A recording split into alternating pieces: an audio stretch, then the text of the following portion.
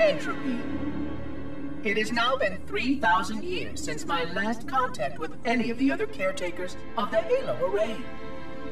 Despite clear communications protocol, my fellow monitors have either chosen to ignore, or, more likely, have lost the ability to engage in our scheduled updates. The continued lapse of the domain means that we are stuck with achingly slow wormhole superluminal communications. Prior to this total communication shutdown, the only messages I received in the preceding 4,573 years were incomplete and quite perplexing transmissions from Installation 05.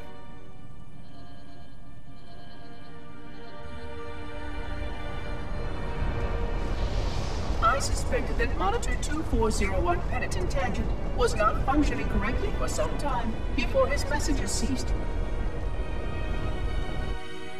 I have logged my concerns about his ability to perform his duties. At this point, however, I'm not sure who I file logs for. 2401 may be destined for madness. There are failsafes for this, I know. I hope they work. I will continue to visit the projection systems at the assigned dates. Perhaps the other monitors are dealing with interfering galactic phenomena or unexpected system failures. 3,000 years of system failures. Indeed.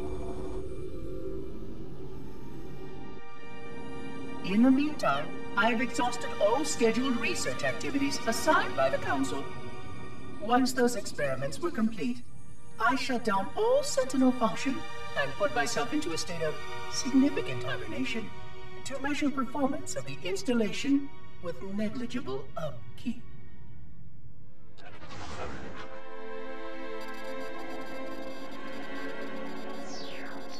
After 150 years with no noticeable impact upon installation systems or integrity, even in hibernation I became bored.